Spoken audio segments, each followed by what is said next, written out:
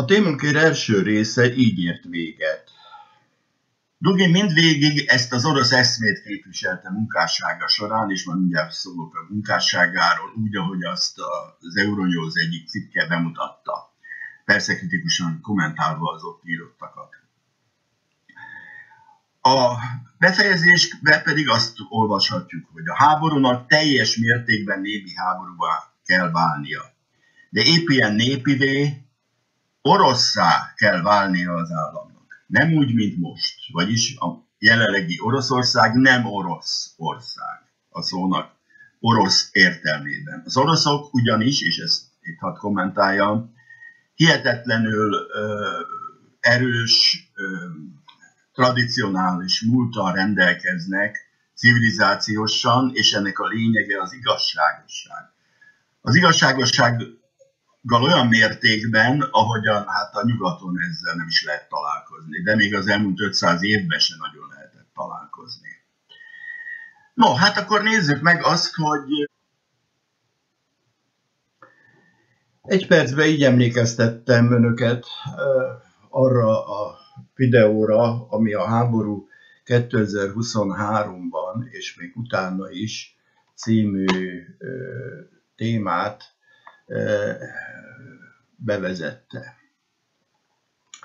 Ha most tovább megyek, akkor ugye utalnom kell arra a kísérő videó leírásra, ami a YouTube-on is megjelent, meg hát aki a Facebookomat használta, ott ugyanez a leírás megjelent erre az első részre, meg természetesen a témakörhöz a háború 2023-ban is, még utána is hoz csatlakozó összes videóra vonatkozóan.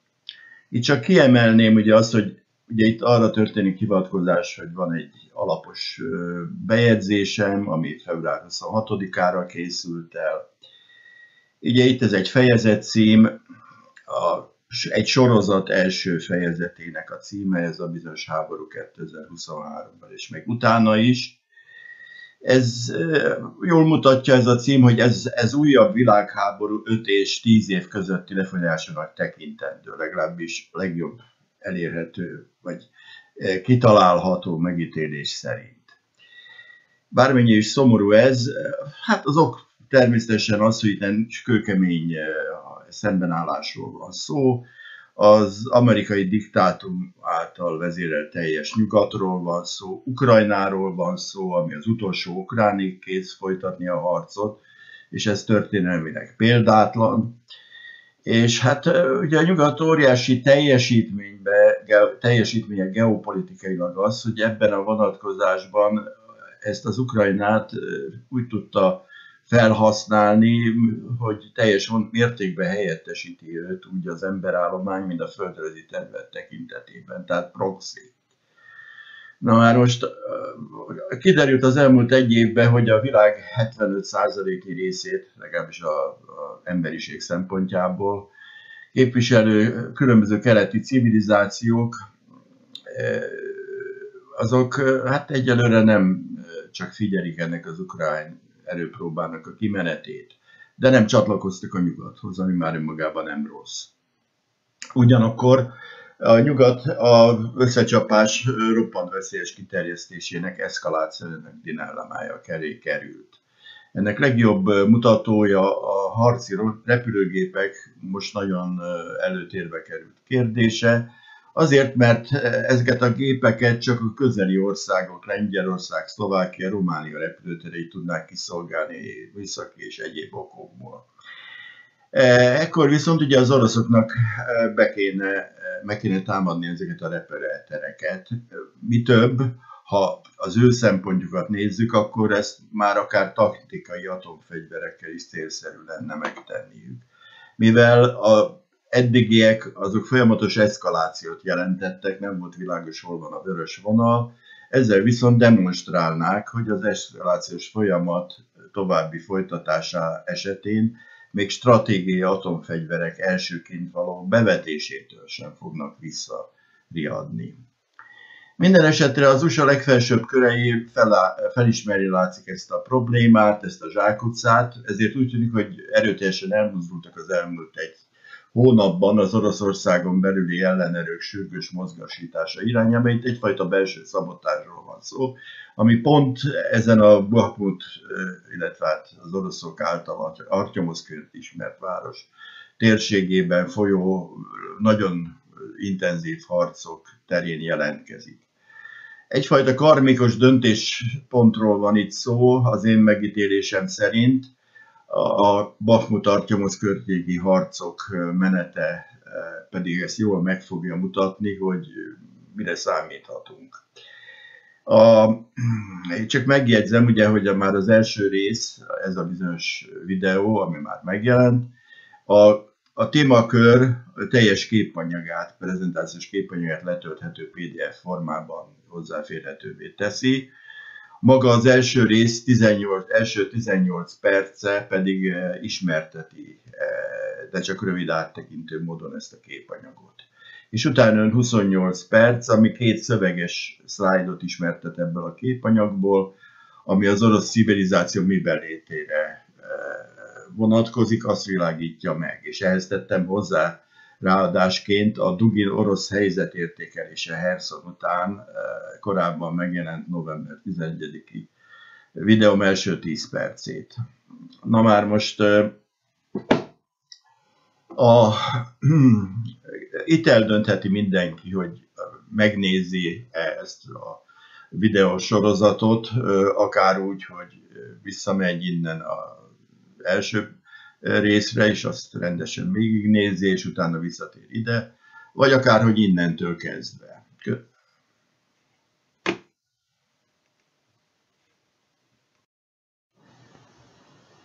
Mindösszesen ugye 7 perccel telt el, törekszem arra, hogy mindenki a saját időráfordítása, érdeklődési alapján tudjon ezzel a kérdéskörrel megismerkedni, ha egyáltalán kíváncsi erre. Ugye erről a két szöveg szlájdról van szó, ami itt ugye az autokráciának a orosz fogalmi értelem szerinti tartalmával, fogalmi tartalmával foglalkozik. Ugye itt a kiemelés az jól mutatja, hogy miről van szó. Ami oda vezet, hogy a jelenlegi szembeállásban, ha bukik ez az autokrácia, amit nem szabad diktatúrának tekinteni nyugati értelemben, ebből mindez ki, kijön, amit itt az első részben ennek kapcsán kifejtek, akkor ugye minden visszatér olyan 500 évvel ezelőtti időkre, amikor megalakult a cári birodalom első a központi állama. Na és akkor itt ugye egy ajánlás van arra nézve, hogy mit tegyünk mi majd jelenlegi Magyarországon élők, elhúzódik ugye a háború, stb. stb. dinamikus adaptáció kell, még akkor is, ha ez teljesen utopisztikusnak tűnik.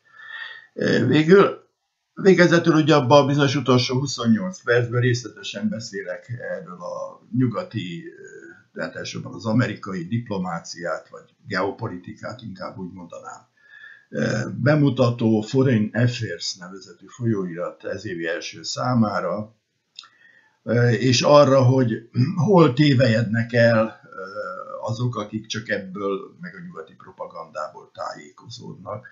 Ugye itt szó van arról, hogy a, az orosz expedíciós hadsereg az egy korlátozott 150 ezer fős volt, nem is lehetett nagyobb, hogy miért az, az első részből kiderül, még ez egy 80 ezeres Dombaszi sereg csatlakozott, és ezzel szemben állt egy kőkeményen ideologizált, megvadított 400 ezeres ukrán, fanatizált ukrán hadsereg, és hát ez a társadalom, ami nem kevésbé ezt az ukrán fanatizmust képviselte szintén, és ezzel támogatta a hadsereget.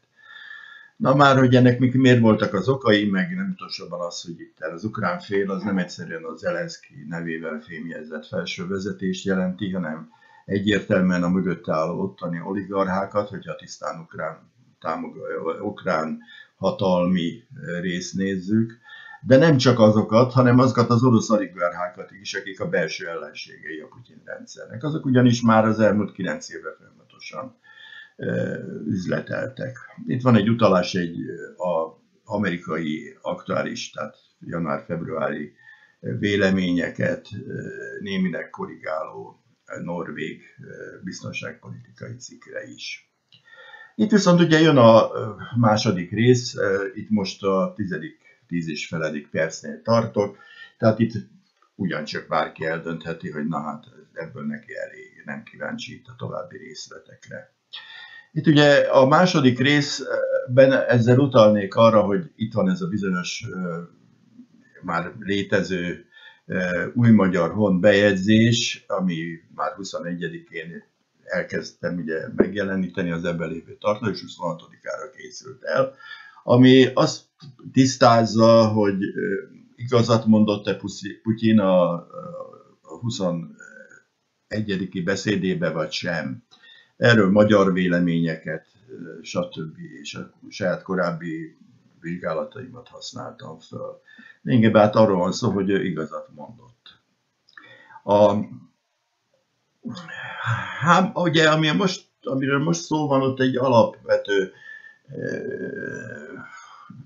tényál, tényinformáció, hogy a 2022-es USA termet 100 ezeres veszteséggel számolt, amit nem sikerült elérniük, és hát ezért aktuális ugye itt a háború 2023-ban és még utána is felvetéssel élni.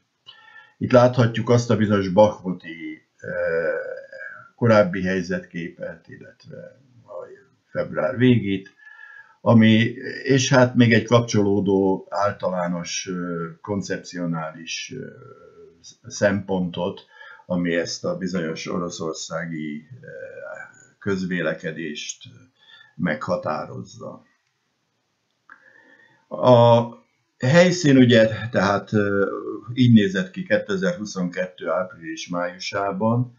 Itt láthatjuk, hogy ekkor még ugye a Bakhmut teljesen védett volt, de tulajdonképpen már körbe volt véve, de nem csak Bakhmut, hanem az azóta elfoglalt Szoledár városa, a, akkor még Lisicsánszk is úgymond szabad volt, vagy a, hát a frontvonal mellett helyezkedett el. Ez, Sziverc még egyébként most is, ugye itt ezt úgy mutatnám, és nem utolsó sorban a Dombaszi terület, mert itt ugye a Dombaszi területről van szó, itt látjuk az Azovi tengert, a külső városvonalait képviselő Druskovka, Kramatorsk, Szlavjánszk található itt, de ugye egy ilyen körbe irányuló mozdulattal akkor még az oroszok ezt ugye ezt a külső vonal rendszert, ami kevésbé volt védve, is támadták. Arra most nem térnék ki, hogy milyen okból tértek el attól, hogyha most ugye megnézzük a 2023. február 28-i állapotot, hogy ugye ez a bizonyos területfoglalás, ami ugye itten a, ezt a területet, Iziumot érintette egészen ugye idáig, az, az miért szűnt meg? Itt ugye fölhívnám a figyelmet valahol Rubézsnoje, ugye ez egy, nagy, egy kinagyított kép, Rubézsnoje itt található május, tehát egy évvel ezelőtt, akkor még annak a határán voltak az orosz csapatok, most meg, meg a felkelő hadsereg. Hát most már ugye elfoglalták, de attól keletre ugye azt visszafoglalták az ukránok. Ezzel szemben, a, ha megnézzük, azt látjuk, amit már itt szóba elmondtam, hogy Bakmut teljesen ilyen félkörbe egy ilyen karapafogóba van fogva, Szolidárt már elfoglalták, Sziverszket még nem, Delisicsánszkot már igen. Tehát azt lehet mondani, hogy a, ugye ez a klasszikus határvonal, amit ugye 2014-es harcokat követően kialakult, és ugye 8 évig fennállt, ebből a, ez a Lugánszki résznek ugye a, tehát a Lugánszki népköztársághoz tartozó területek tulajdonképpen Bakmut is, ha nem egészen oda tartozik, de minden esetre hát abban az irányban ez pedig a Donetszki népköztársaság, maga Donetsk pedig valahol itt található. Hát itt látjuk azt, hogy itt lejjebb van valahol Mariupol, amit elsőként foglaltak el az oroszok, és természetesen ez már a közel esik, a, ezt a régi kérképen lehet látni, ugye, hogy közel a Melitopol, tehát a zaporozsiai részhez, amit ugye akkor itt volt a frontvonal április-májusban, és ezt nagyjából sikerült is ugye megőrizniük. Na már most ugye itt van ez a bizonyos terv, aminek a lényege az volt, hogy ha egy ilyen 500 ezeres harctéri veszteség éri az oroszokat, tehát most a veszteséget a halottak számát tekintve kell értenünk, akkor ugye egy olyan megsúlyos megrázkódtatás lesz 2022-ben Oroszországon belül, ami a külső szankciókkal együtt oda vezet, hogy a, a, a putyini, úgymond putyini autokrácia megdől. Itt maga ez egy még nyugati, értelmes nyugati emberek is úgy találták, sajnos ilyenekből kevés volt, hogy ez egy gangsterizmus, ami történt ezzel a háborúval, mármint hogy gangster Putyin mondta Roger Waters, a Pink Floydnak egy egykori oszlopos tagja, és a legjobb dalainak a szerzője. Itt ezért utaltam már abban az időben arra, tehát neki a, a Vol, a Fal nevű műve az egyik legismertebb. És az kifejezi azt, hogy azt az életérzést, ami nyugaton is felfedezhető, hogy az embert tulajdonképpen a ellenőrizetlen hatalom az beszorítja, legyen az az iskolába, vagy bárhol máshogy. Na mindegy. Tehát Putyin beszédet tartott, ugye azt csak úgy megemlítettem, hogy bárki megnézheti ezt a bizonyos beszédet. A, ezen a belső borítóképen, ami a, az éri, a kérdéses ugye, bejegyzésnek a, a belső részén található már. Itt sok minden szerepel, például ez a karikatúra, ami jól mutatja, hogy ezek Ukrajna színei, hogy a, a veréb, próbál, a veréb ugye az ad, addig izé szájjal itt a, a, a, ezzel a képletes Putyinnal, hogy az megragadja azt, vagy nem megragadja azt a képletes Putyint, és hát így aztán egy hatalmas veréb lesz belőle, óriássá válik. E, így fejezhető ki tulajdonképpen ennek a karikatúrának az értelme, hogy ukrán szempontból mivel fűtötték, tudták fölfűteni ennyire a, az embereket, az ottan élőket az elmúlt 8 év, 9 évben végképp. Valójában azonban egy kognitív világháború zajlik, erre majd még külön visszatérek, ez egy külön videómnak, ami megnézhető a megállap, végső megállapítása. A, ugye maga ez a bejegyzés, mint ugye már ezt mondtam, ugye itt található, és hát ez az a belső kép, ami, amire itt felhívtam a figyelmet. Kapcsolódóan ehhez létrehoztam egy másik webhelyet, az igazake wordpress.com-ot, és hát ott többek között ennek a lelkiismeretnek a kérdésével, azon belül, hogy abban található első bejegyzésként a népek és emberek kérdéskör, hogy mi különbözteti meg a népeket és az embereket. Ez egy alaptétel az elmúlt 30 év társadalomtudományi kutatásaiból, az egyik legsikeresebb iskolának az egyik alaptétel, hogy óriási különbség van. És hát ennek, a, ennek, a, ennek szempontjából az emberek között, és ennek következtében a társadalmak között is, hogy öt úgynevezett alaptípust állapítottak meg, zombi, biorobotot, démonit, humánus, állatit, sőt lezüllöttet. És ezektől függ tulajdonképpen az, hogy a társadalomban mi az, amelyik ugye túlnyomóan szerepel.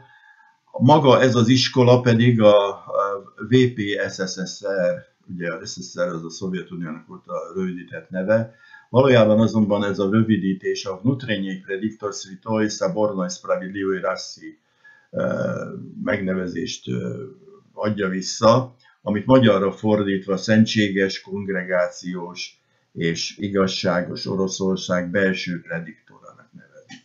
Ez egy 7000 oldalig terjedő ö, ismeretrendszer, ami hozzáférhető az interneten, és azt is el kell mondanom, hogy ennek az iskolának a megjelenése az elmúlt 30 évben folyamatos volt.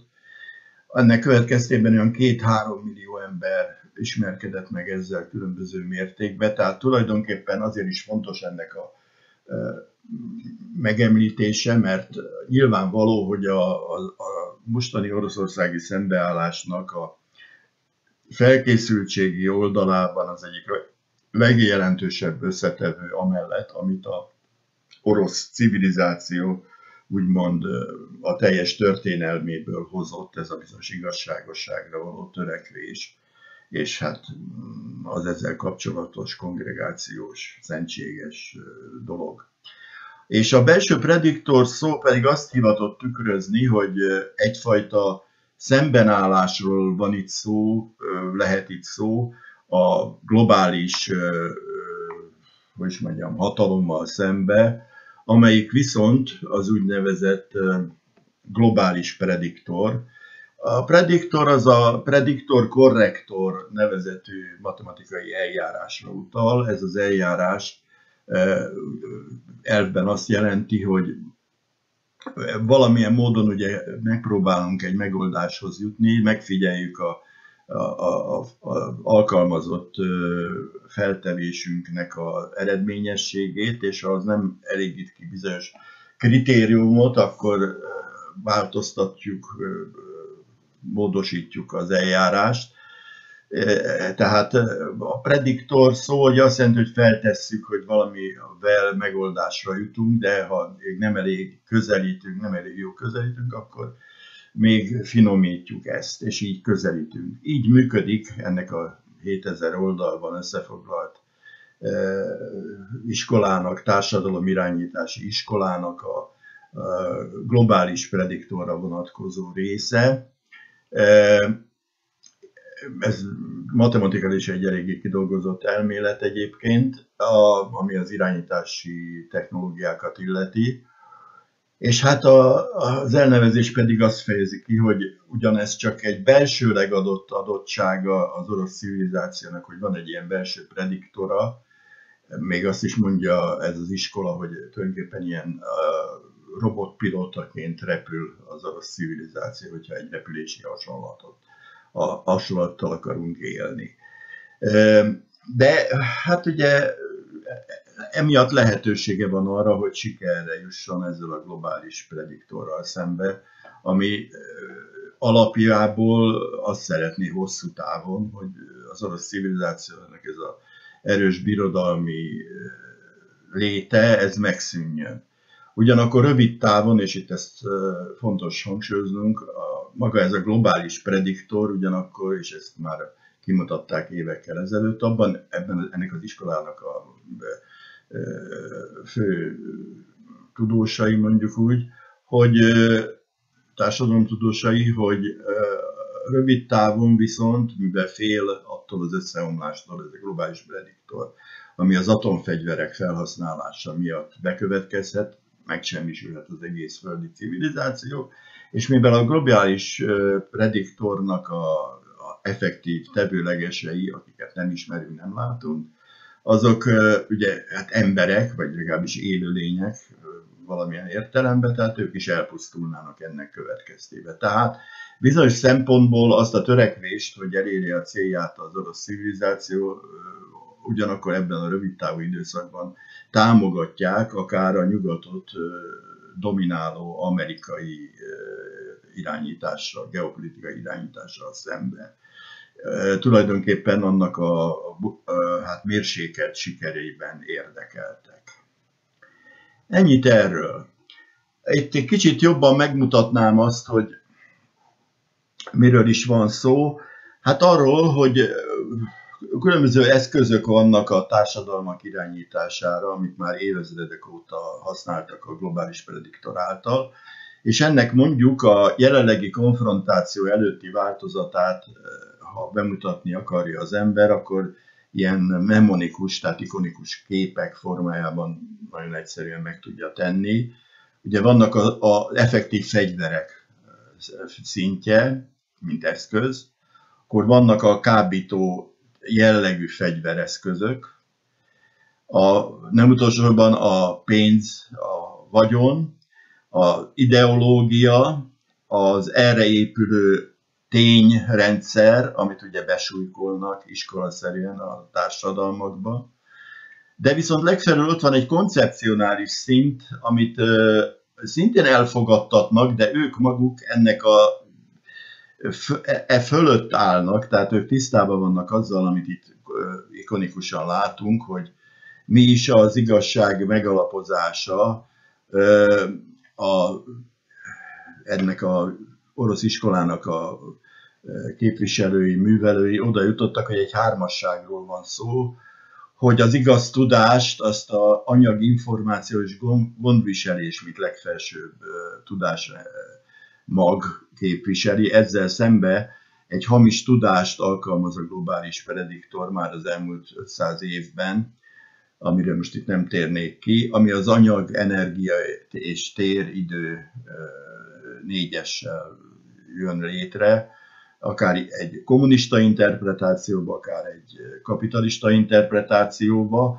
Most, ha így visszavezetném ezt a ideológiai szintre, akkor itt ugye hát a, hát lát ezt az ikonikus ábrázolásban ugye Karl Marx képviseli a kommunista szintet, és egy Ayn Rand nevezetű ideológus, aki egyébként szintén orosz származású, csak éppen a, a 17-es, tehát az elmúlt évszázad elején lezajlott forradalomnak idején a bolsevikoktól elmenekült.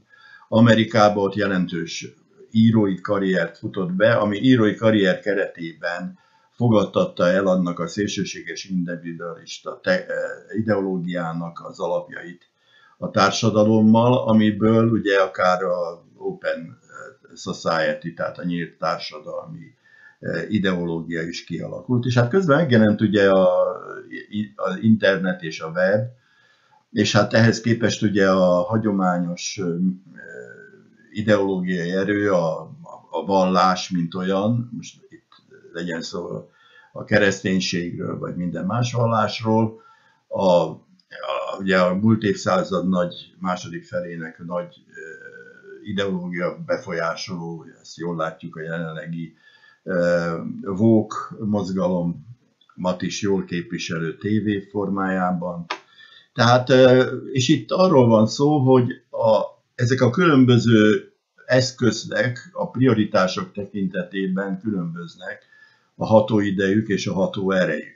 Ugye a fegyver az egy rendkívül gyors ható erejű, ugye a fizikai fegyverek, a gyilkos fegyverek, hatóidejű eszközök, míg a, ezek a koncepcionális dolgok, ezek a leghosszabb távon tudnak csak hatni. Tehát ez az is mutatja, hogy ezek a félre, félrevezető, mikor az elmúlt 500 év félrevezető ideológiai, mint a kapitalizmus és a kommunizmus, azok önmagában ugye 500 év távlatában tudtak hatni a társadalmakra, a Földön lévő társadalmakra. És hát a ható erejük viszont, ha így nézzük, messze meghaladja a fegyverekét, és hát közöl az összes közbenső prioritási szintekre is. Ma azonban, amire én jutottam, és már említettem, ez a kognitív világháború, de az igazság ellen nincs mit tenni egy ilyen című videó keretében, ami hát egy nagy időtartamú elemzés, én meg már ugye 30 percnél tartok, ez megjelent tavaly, és akit érdekel ez az, hogy a kognitív, tehát az elméreható szintre helyeződött át a világháború kérdése, vagyis azt kell mondani, hogy ezeken a szinteken zajlik ma már egyértelműen, nem is a anyagi oldalon, ami ugye itt található, és hát ezért is vélelmezem azt, hogy itt még a, a, a, a nyilván a mindenki számára egyértelmű szembeállásnak is ilyen legalább 5-10 éves távlata van háborús szembeállásnak. És hát az, amit ugye tudnunk kell, hogy ugye, egy többpólusú világ révén alakulhat ki egy újabb stabilitás lassan, hát minimum 5-10 évet követően. A, arról tudnunk kell, hogy ugye ott más és más tényinformációk, azokat képviselő ideológiák és nem tudom, mögöttes koncepciók lesznek, úgy, tehát nyugati oldalon valószínűleg folytatódik az eddigieknek egyfajta le, képzése, a keleti oldalon meg hát a meghatározó országokon belül valamiféle az igazsághoz talán jobban, koncepciálisan jobban tartozó háttér lesz a meghatározó. Így kell értenünk ezt a kognitív világháborút. Na most ugye itt eljutottam már 31 percre, akit úgy érzi, hogy itt ez, ezzel be is éri, és nem kíváncsi a Bakmut környéki történésekre, hát az nyugodtan kiszállhat, és ezzel akár az egész három részes videó sorozatot, ami a háború 2023-ban és még utána is kérdéskörrel foglalkozik, azt mellőzheti. Akit viszont érdekel, hát azt kérem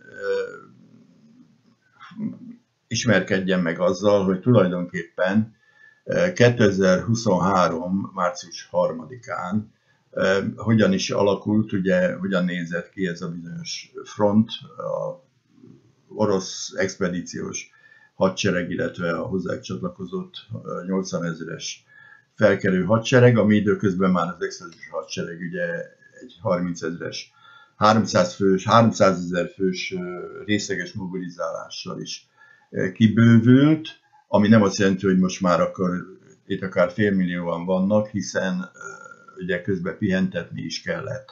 Közben ki kellett képezni a, az itt lévő orosz csapat a, a, a részlegesen mobilizáltakat. Minden esetre a front ugye itt Hersontól egészen az északi Kupjánszkig terjedő, ez már itt közel van az orosz határhoz, terjedően, és ezek azok a területek, amiket a négy földrajzi régió, tehát úgynevezett oblast, a, a Donetsk, a Donbass két népköztársasága, illetve a az LNR és a DNR, tehát a Luganszki és a Donetszki népköztársaság, amelyek korábban 8-9 évvel ezelőtt e, ukrán területek voltak, azoknak a nem elfoglalt területeit látjuk így, amit tehát az ukránok még uralnak, illetve elfoglaltak két e, jelentős részét két új, újabb területnek Ukrajnából, amiből hát bizonyos részek még mindig ukrán e, ellenőrzés alatt vannak, viszont az oroszok már tavaly ezeket elég korán egy népszavazás keretében ugye mind a négy területet az Orosz Föderáció részévé tettek. De még Hersonban akkor ezt a területeket, a területeket is birtokolták, és azokra is ott, az ott élők is részt vettek a népszavazásban, és túlnyomó többséggel amit külső szakértők ellenőriztek, ezek a népszavazások, ezek a mellett döntöttek, hogy becsatlakoznak. Az Orosz Föderációba, ami érthető, mert itt ezeken a területeken történelmileg egyértelműen oroszok éltek mindig is, ugyanúgy, ahogy a Krímben is, ezt magam is elég jól ismerem. Lévén, hogy ott tanultam, és az első házasságom az az a feleség egy orosz feleség volt, aki viszont a Krím, akinek a családja a Krímben élt, és élt még ma is. Na már most, ha részletesebben megnézzük, akkor ugye első, amire főnő a figyelmet azt, hogy március másodikán a, az ott harcoló, mármint Bakmut környékén harcoló, Bakmutért harcoló fegyveres erők, amelyek az úgynevezett Wagner nevű privát hadsereg, azoknak az erői már hát elkezdtek komolyan behatolni a város belső területeire is. Ezt mutatta az a kép, ez a nullás jelölés majd az, azt a célt fogja szolgálni, hogy a, ezben következő térképeken is megmutassam, hogy ugye abból a, hol, hol volt ebben az időben, mennyit foglaltak el, itt még, majd mondom, hogy itt még nem jutottak el egy mindjárt látható folyócskáig, maga a felvétel meg itt készült, ugye. E, ha így kinagyítva mutatom, ugye itt van egy e, hotel, és ez egy ilyen nagy lakóház, egy ilyen több emeletes lakóház, ami nyilván már erősen romlott állapotban volt ekkor. És ugyan ez a kép pedig, ami tulajdonképpen a Google kép felvételére rátett képet mutat.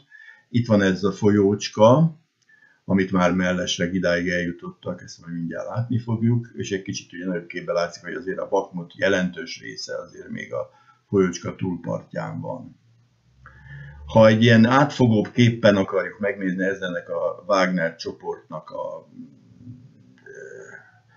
hogy is mondjam, jelvénye, akkor azt látjuk, hogy itt ez a Bachmutovka nevű folyócskáról volt szó, és az akkor még egyértelműen, tehát március elején utánpótlást tudtak szállítani erre a területre, több útvonalon keresztül az ukránok, innen, akkor innen, innen, tehát úgymond még viszonylag jó helyzetben voltak, és ez a bizonyos pont ahol az a március másodikai felvétel készült, az itt volt.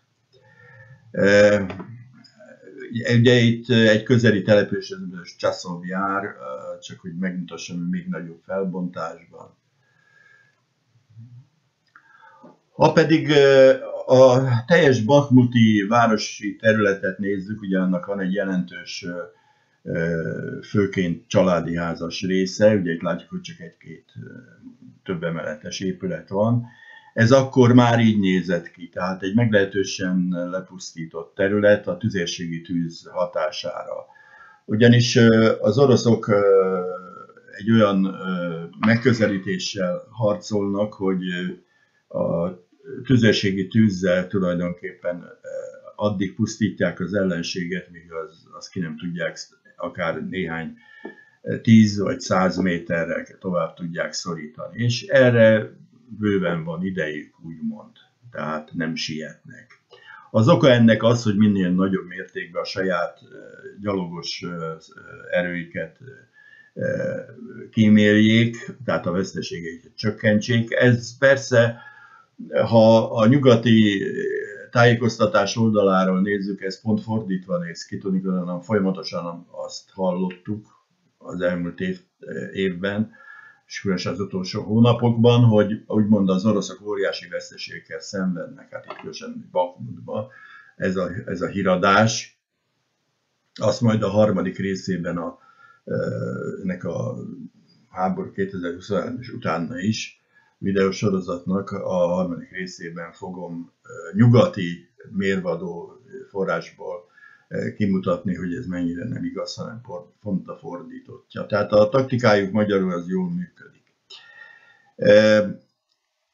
Ha megnézzük ugye az akkori, tehát március elejé drónfelvételeket, felvételen a, a város emeletes házi, ház részeit, akkor ott látjuk, hogy ott még nagyobb a mértékű a pusztítás.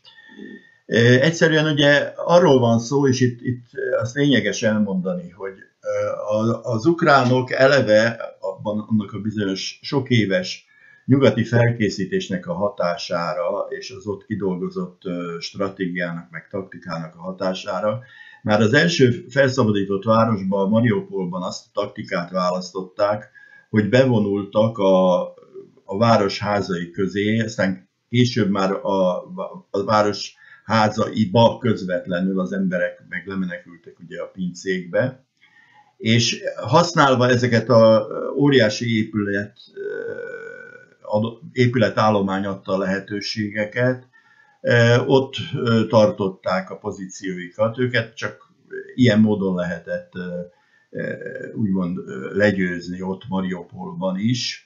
Eléggé, hogy is mondjam, nagy pusztítást tapasztalunk, ami azonban a Mariupolt már elég régen felszabadították, ha jól emlékszem, úgy nyár végére, vagy közepére, és hát ott olyan óriási erővel zajlik a felújítás, ami egyszerűen páratlan. Persze az ukrán propaganda az, ez pont az ellenkezőjét próbálja bebizonyítani, meg hát a nyugati propaganda. Hát ennyit most erről a úgynevezett kognitív világháború szembeállásról.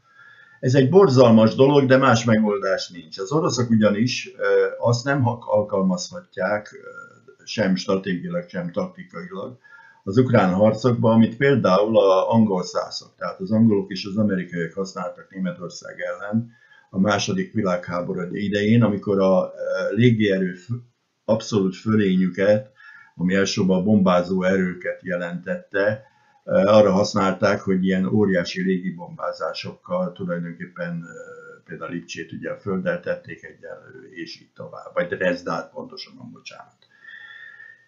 Az oroszok ezt nem használhatják, mert hát végső soron ott ugyanolyan szláv lakosság van, mint ő maguk, még hogyha fanatizáltak is. Egy, hogy mekkora részük a valóban fanatizált, tehát ezt nehéz megállapítani.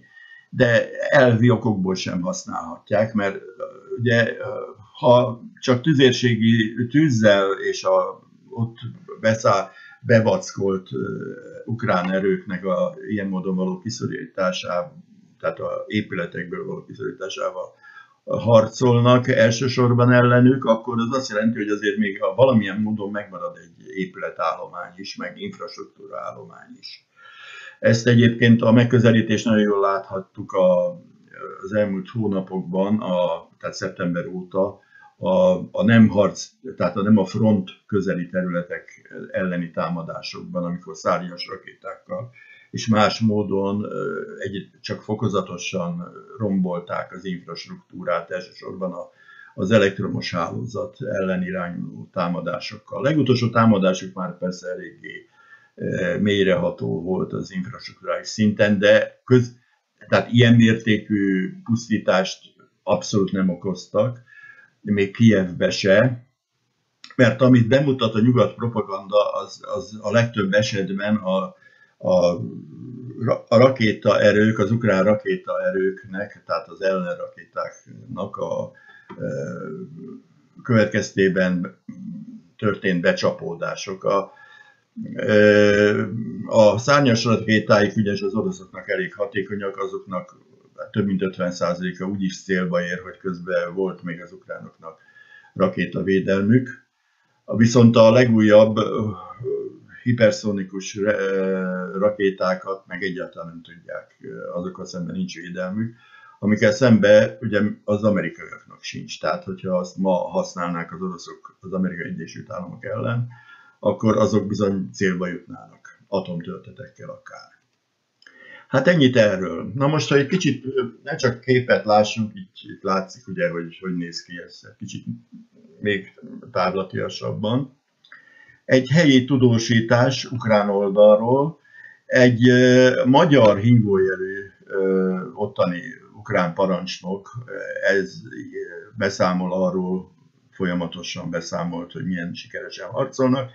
Drónokat használó harci alakulatról van szó, ami speciális drónok is különösen alkalmasak arra, hogy ugye hatékonyak legyenek az orosz csapatokkal szemben. És hát, de azonban március 1-én már egy, egy kialakult rendkívül nehéz helyzetről beszél, az egyik ilyen uh, szociális média megjelenésében, egy, egy, amiben hozzá csatlakozik uh, harcoló ember is, aki elmondja, hogy egy század, egy éjszakát éli túl, naponta egy-két századot veszítünk. Ha pontosabban akarnám itt lett volna én, akkor egyenes azt mondja, hogy akár egy zászlójat el tudnak veszíteni. Ezért szervezeten vissza kellene vonulni a új vonalak, és ott tartani a védelmet. Ők maguk március másodikán parancsot kaptak, hogy visszavonuljanak. 110 napos harci szolgálatuk, úgymond ezzel véget ért, számolt be erről a újabb híradásban ez a bizonyos magyar. a, egy orosz haditudósító ezt úgy kommentálta, hogy nagyon rossz szó, mert ez a megmaradt ukronácik, így nevezik ugyanis az, az ukránok a, az ottaniakat, a csapatokat, senki sem fogja kivonni őket, és ez valóban nagyon valószínű. Az érdemi legharcképesebb csapatok egy jó részét azonban kimondták mostanra. Nem véletlen, hogy ez a Wagner csoport alapítója megnyilatkozásán keresztül az ukrán elnökhöz fordult egy ilyen nyílt üzenetben, hogy úgy mond az ott maradt több mint tízezer embert, akinek jó részét e, ilyen típusú úgymond harcosok jelentik már, tehát öregek, egészen fiatalok vagy kifejezetten szerencsétlenek, akik egyébként ezt már Kievi, e, Kievben készült ottani hogy is olyan pihenésre vont legutolsó idei, nem is a régi két napja nyugati riport is ezt sugározta, hogy ilyenek harcolnak leginkább. Ezek egy-két heti kiképzéssel, ilyen kényszermobilizációval lettek bevetve. Ami nem jelenti, ez egy március 3-ai felszólítás, aminek természetesen nem lett foganatja hogy hagyják, hadhassák el ezt a várost, ezt a, Jevgenyi Prigozsin intézte ezt a felhívást Zelenszky ukrán elnökkel, elnök felé. Az ilyen típusú nagyon részeges kivonulás ugye, tehát az megindult, de ugyanakkor érdekes módon itt ugye 11, 20, 12, 18, 14, 10, ez mind helyi idő, március 3-án készült felvételek, ez egy drón felvétel, ami azt mondja, hogy felrobbantanak egy, egy vasúti hidat, itt pedig egy szintén egy másik, másik helyen történő robbanásról van szó. Tehát úgy tűnik, hogy lezárják még a, a menekülési utat is, mondjuk az ukránok az ott lévő tíz akárhány fő előtt, akik a legértékesebbek kivonása után maradtak, a, tehát hogy tartsák a frontot.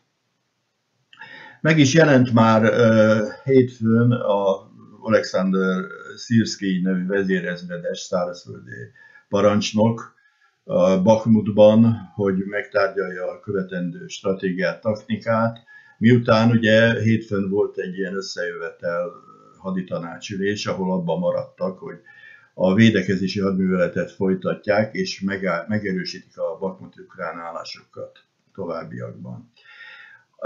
Március 8-án a helyzet már így nézett ki, most nem fordítottam le magyarra, közelébe jutottak ennek az úgynevezett azon rövidített, rövidített nevű üzemnek a területére, ami azért lényeges, mert ez ugyanolyan jellegű nagy kiterjedésű ipartelep, mint ami Mariupolban volt, és amiben az utolsó ellenállást meg tudták valósítani, amikor már beszorították őket.